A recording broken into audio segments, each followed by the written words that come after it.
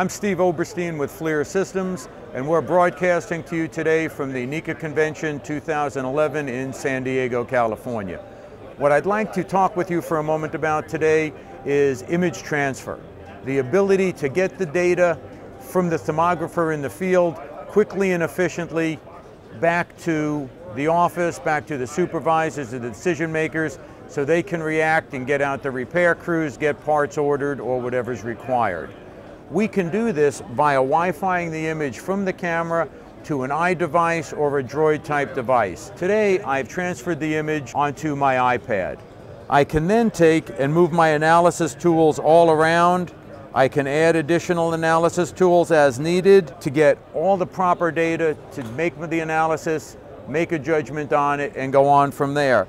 At this point, I hit the save button and I can email my image as needed back to wherever it needs to go. Or if I want to do the entire report in the field, I can add in any documentation, hit create report, my report's done. Simple, easily, and efficiently get on to the next job, get as much out of the camera as possible, get as much out of the data as possible, as quickly as possible.